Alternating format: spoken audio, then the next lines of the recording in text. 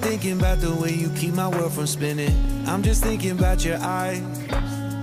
Just don't know if I've been faking or pretending, but I know I never felt so damn alive. I don't know if I believe the information given that there is someone by your side. Coming back inside my body for a second, there is no way that I'm never gonna try. Hello, where you at? Where you been? Tell me everything about you. Go slow, so I can write it down and become the perfect man for you. What you like, what you don't, you should never be flying solo.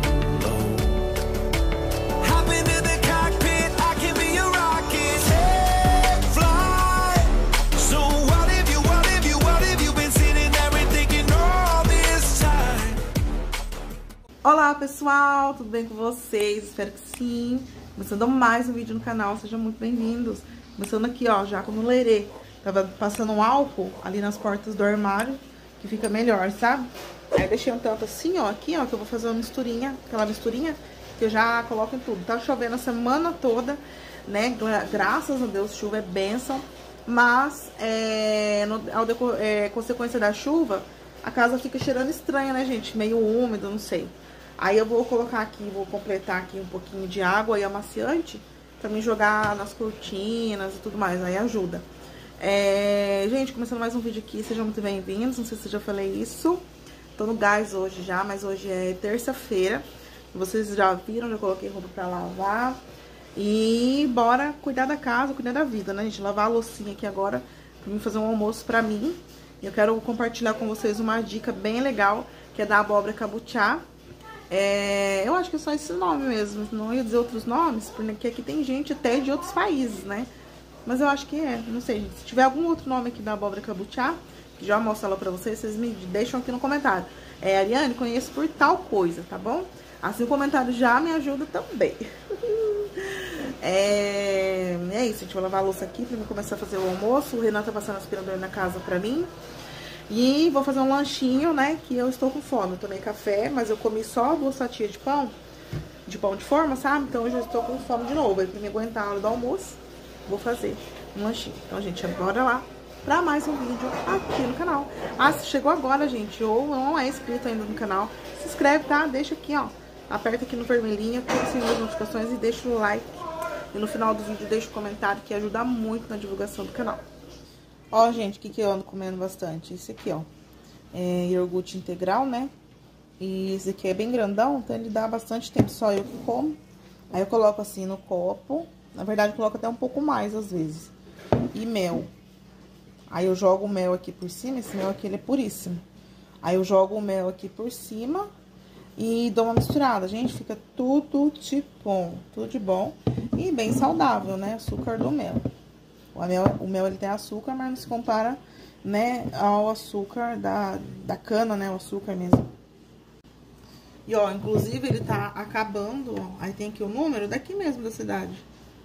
O Job comprou isso aqui, aí ele, ele vai ver se tem mais lá, porque tá acabando, quase nada mais. Olha só como é que eu faço. Aí agora aqui é só misturar.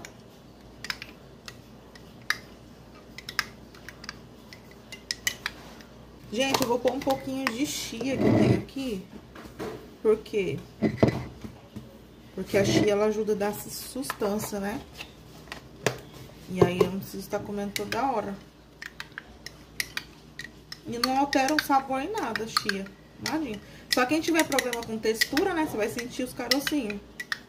Mas não altere nada. Ó. Antes a gente comia com melancia, chia. Gente, vamos lá. Espera um pouquinho que tá suja a câmera aqui. Voltou, melhorou, né? Ah, gente, isso aqui, às vezes eu vou mostrar alguma coisa aqui na pia, eu fico com vergonha. Isso aqui é um silicone que tinha da outra pia. E eu não sei se ele já era preto, não sei. Eu sei que isso aqui não sai por nada, por cargas d'água nenhuma sai.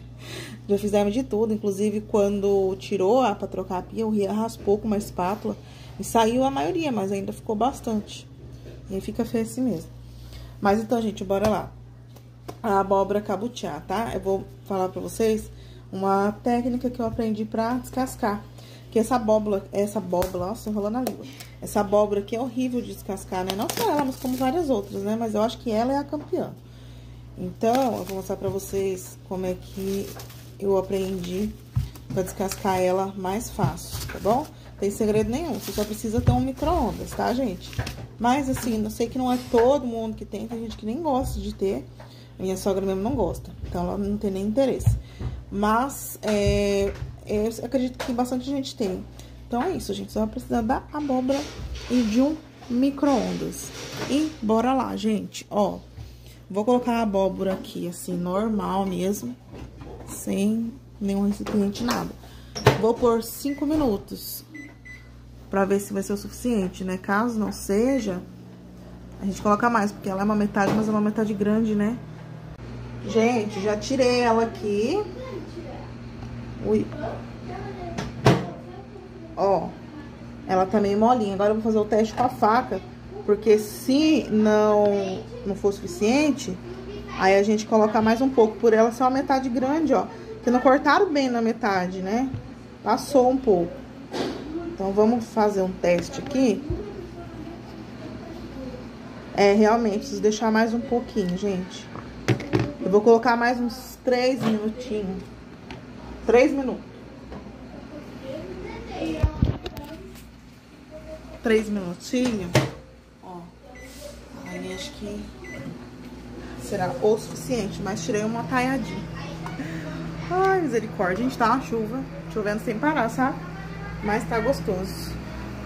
Aí aqui fora fica bem feio, gente. Ai, eu fico desgostosa com esse corredor na chuva. Que ele chove torto, pisa assim, fica bem cheio. É feio, mas nem tem o que fazer, porque só dá pra lavar mesmo depois que dá uma apaziguada na chuva. Faz parte, né? Gente, ó, tirei um pedaço dela aqui agora. Três minutos, então foram oito, tá? Porque é mais da metade. Pra mim mostrar pra vocês. Olha aqui. Olha aqui, menina. Chocada. Igual se estiver descascando um chuchu.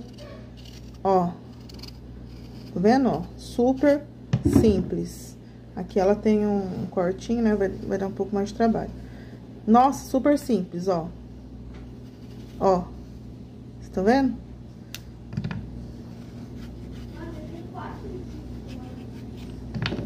Beleza. Não se compara. Aqui tá ruim porque aqui tem um cortinho, ó. Mas eu vou cortar no, aqui no meio. Não se compara quando você é, descasca ela sem isso aqui. Nossa, gostei, gente. Ó, agora aqui só fazer assim, ó. Prontinho. Bem mais fácil. Aí, tira aqui a sementinha. Ó, pronto. Tá, beleza. Agora eu vou cortar ela toda aqui pra me pôr pra cozinhar.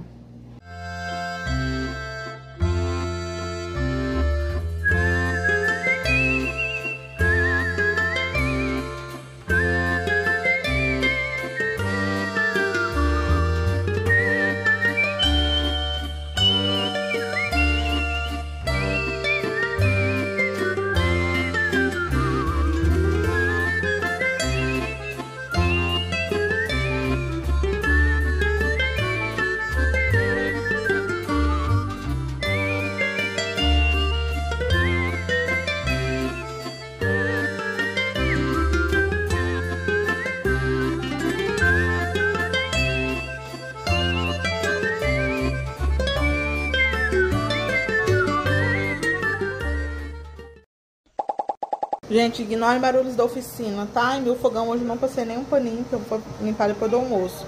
Mas é só poeira mesmo. É, então, vou ensinar vocês aqui, gente. Ensinar não, compartilhar com vocês uma dica de dois modos pra você usar a abóbora. Aqui eu vou fazer na manteiga, pra mim. Na verdade, na margarina, tá? Vamos ser sinceros.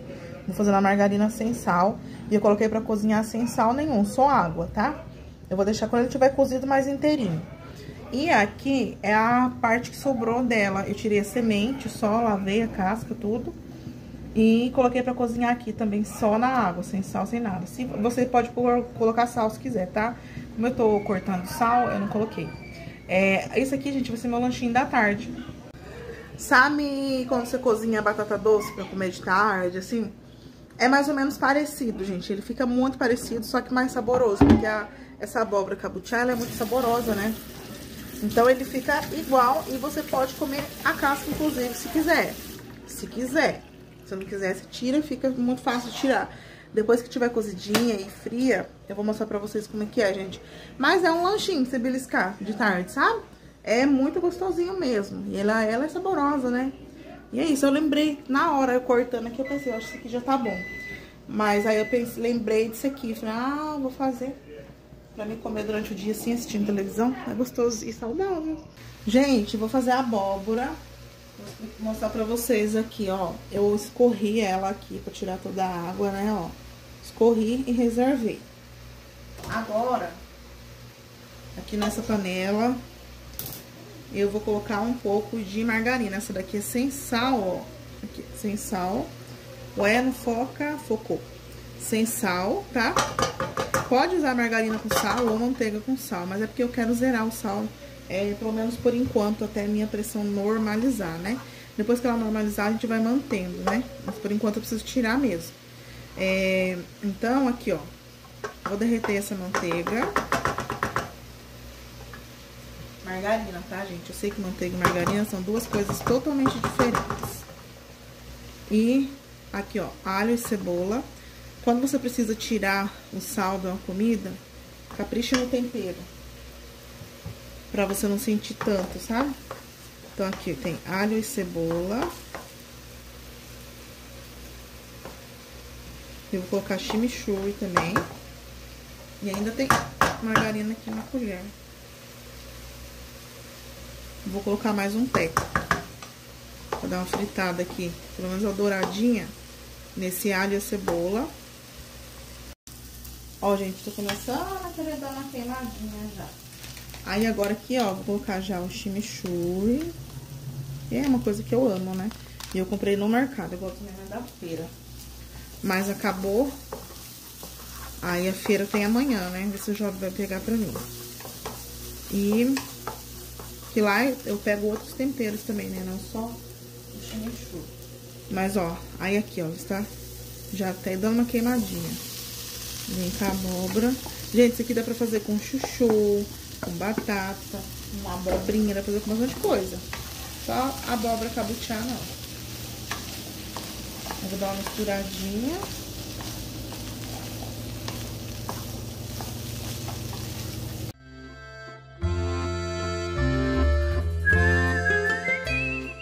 E ó, gente, se você gostar, poder estar tá comendo sal normal, coloca sal aqui, tá? É porque eu não tô comendo sal, mas pode pôr. Agora aqui, ó, salsinha e cebolinha.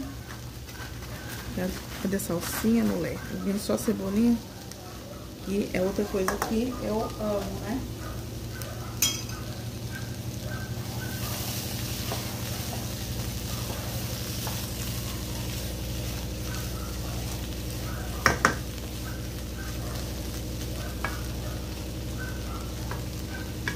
E tá pronto. Desligar aqui o fogo. E olha só, gente, que coisa mais linda, linda, linda, linda de se ver. Viu? Isso daqui vai ser a base do meu almoço hoje. Aí vou fazer uma saladinha também.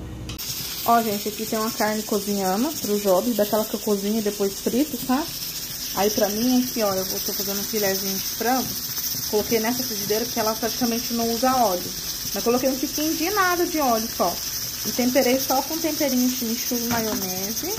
Ali ainda tá a abóbora cozinhando, tá quase boa. E aqui o arrozinho, ó. Gente, meu almocinho, ó, meu prato. O arrozinho branco. O frango, né, que tá quase praticamente sem óleo. E a abóbora. E eu vou contar pra vocês que eu fiquei com preguiça de fazer salada, cara. Então, só assim mesmo.